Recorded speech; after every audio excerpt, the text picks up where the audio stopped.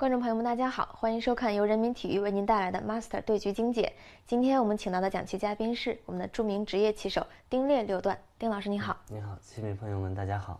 嗯我们今天给您带来的这盘对局呢，是一本一位日本棋手下的，嗯，呃，也是排名日本最高的，现在是景山裕太。嗯，景山裕太呢，这盘棋是直白对 Master。嗯，好，我们话不多说，进入棋局。景山裕太是日本的七冠王。对，无愧的第一人。而且他们说，虽然柯洁是世界围棋第一人，现在，但是景山裕太是现在拿钱最多的，就是奖金拿的最多的第一人。日本比赛的奖金确实是非常的高的。嗯，而且基本上日本的奖金都被景山裕太夺去了吧？包揽了，七大七大赛全部是景山裕太，他也是创造了历史嘛。嗯，这盘棋 master 他是选择了低挂。嗯。这边，嗯，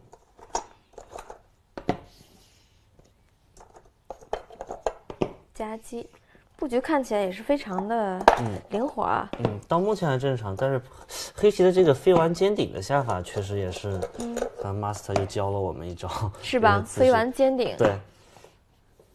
但感觉这个战斗白棋应该是也是并无不满，白棋能下成这样的话，嗯嗯，这局部形成一个战斗，嗯。对，因为这个战斗，其实我们本身知道，这棋黑棋三间高加的时候有这样的一个定式的。嗯嗯，这个定式的次序是要换一下，就是黑棋三间高加，白棋二间跳的时候，然后黑棋顶，然后跳这个，然后白棋一靠，黑棋再顶断，这样是一个定式，是我们啊职业棋手比较普遍认知的一个定式的一个战斗的变化。但是实战呢，等于说这个子放在这儿了，离离这个距离明战斗的。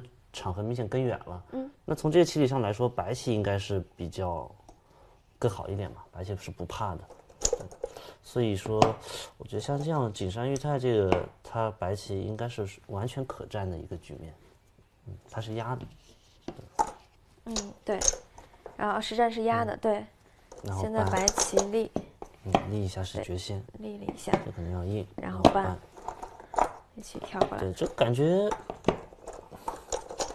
我感觉这盘棋景山他应该是下的非常不错的一盘棋，嗯，白棋现在跳，这个棋形也非常的正，嗯，黑棋顶，挡住，对，白棋这个，嗯，白棋连扳，这几乎都是必然的一个下法，对，嗯，长出来，再爬，那这个局部的话，看起来白棋是被包在里面，嗯。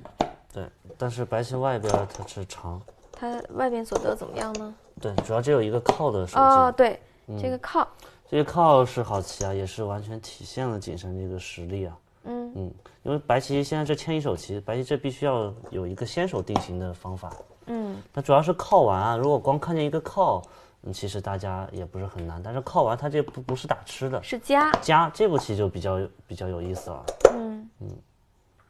我记得我记不太清了，但是不是有一篇媒体报道说是，呃，好像是日媒报道的，说是景山裕太这盘是最有机会的一盘，还是啥？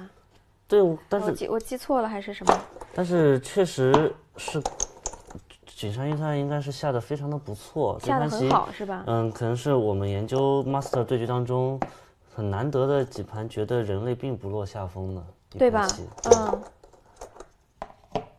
这是一个非常漂亮的一个棋子的手段，然后再铺铺完打吃，嗯，因为我们第一感下成这样，这个局面应该是白棋优势的一个局面。对，因为黑棋这个形状，对，将来几乎可以看成这样嘛，黑棋走这个，白棋吃这个，我们可以看成这样来判断一个形势。这局部的目数双方是差不多的，嗯，啊，黑棋也不见比白棋大，双方应该差不多。然后就外边的比较，感觉上白棋的效率明显应该比黑棋高嘛。黑棋这个虽然这个龟甲非常的厚，但是手术画的很多，有点重复。所以第一感下成这样，应该当时觉得白棋没粘这个，对，暂时是没粘。对，感觉上白棋这一串的处理还是非常的漂亮的，应该是。所以说，井上裕太在这四分之一棋盘还是占得了一定的先机。这至少我们觉得形势判断上是这样，但是随着棋局进程，好像走着走着又不见得了，是吧？对，所以说黑棋像这样，可能 master 以他的分析来说，形势判断他可能并不觉得自己差。也是有可能的，但是我们人类觉得，反正现在景山裕太的棋还可以。那应该是还可以，下的还是。景山裕太是白棋啊，我们来再来看看这个局部怎么样。白棋飞。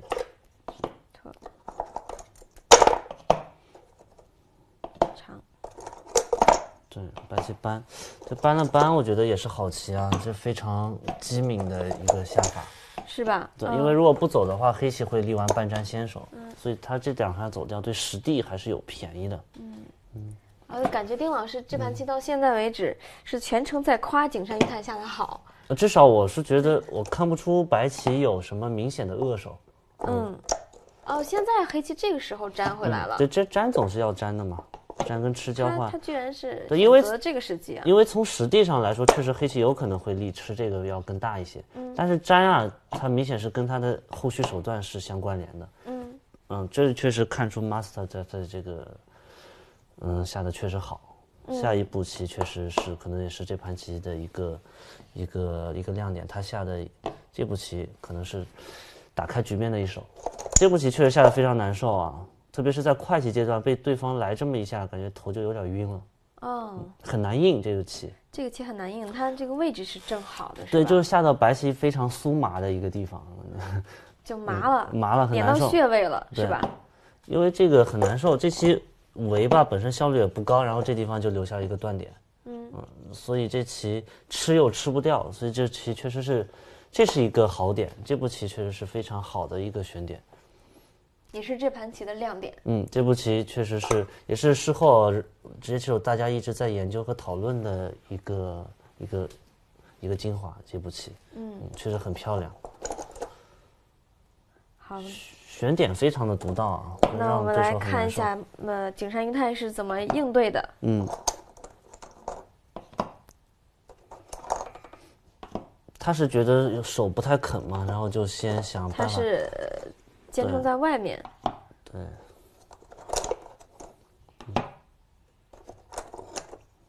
嗯。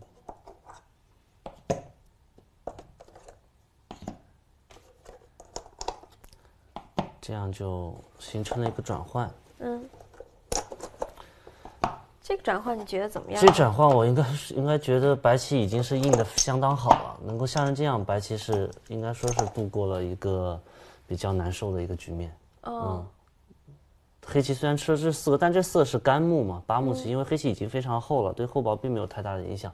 白棋能够把这空完全守住，然后把这三个吃掉，实际上应该是已经把自己给撑到最大了。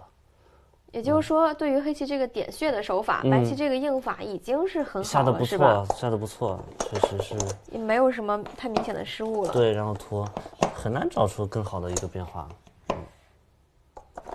那现在你觉得，就是经过这个转换之后，双方形势形势应该还是差不多，差不多的，很难说的。现在还是很难说。对，好，那我们这个已经摆到了九十手左右，嗯，它的形式还是难解难分。嗯，在我们之前的棋局中好像很少，嗯，确实是，对，基本上到了，嗯，不太到一百手，基本上 master 就已经胜定的感觉。对，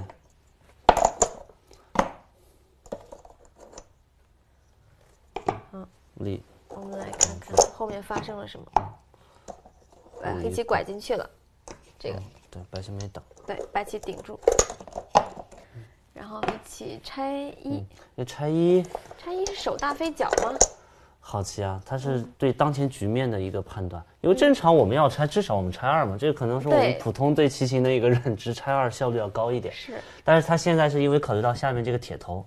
这条边的价值并不是很高，而且大飞脚的弱点是在于脚上，所以它这个拆一呢，是对脚上的防护是做了更好的一步棋啊。这步棋确实也值得我们学习，这步棋确实有它独到的一个判断，值得我们学习的地方。嗯嗯，也是一个很新颖的思路。对，因为是它是根据周围的情况来这个临时，呃灵灵机多变的一个下法。嗯，因为这个这头非常的硬，确实是很有道理的一手棋。嗯。啊，白棋是粘这个，嗯，然后黑棋跳起。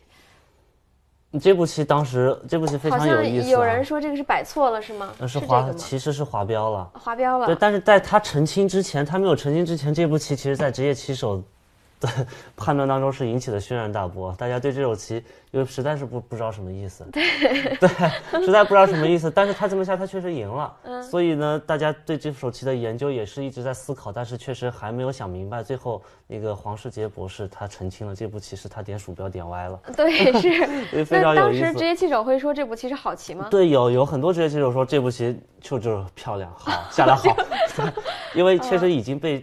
可能 master 强大的实力所这个已经是，嗯，他无论下出什么新奇招数，我们只能说他是好，因为他赢了呀，因为他赢了。就算滑标他下到他也获胜了，那大家觉得他就是因为他判断的非常清楚，这是提高胜率的一步好棋，很多人都在吹捧这手棋，其实是那个非常有意思的一个小插曲，对非常有意思的一个片段。其实这是在六十盘棋当中有两两步棋是滑标了的。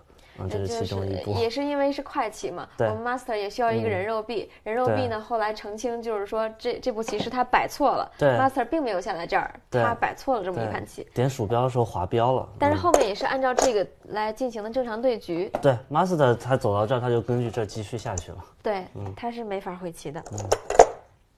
然后，那在黑棋围四手的角上，井上裕太还想要搅出一些事情，就是想捞点小便宜。嗯。这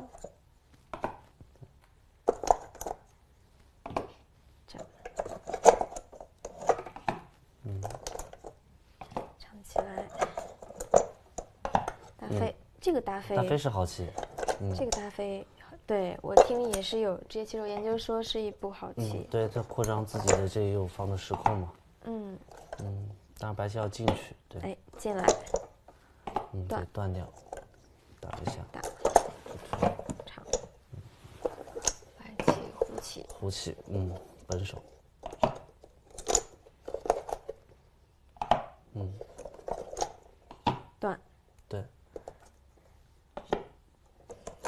至此，你觉得这这个整个右边的变化？整个右边变化差不多吧，我觉得双方应该，嗯，都下的没什么太大的问题，没也没有什么特别之处，是吧？对，感觉景山下的还是不错的，他这步棋也是很平又强的一个大场。现在白棋只要把这块棋处理好了，时控应该是不差的。嗯。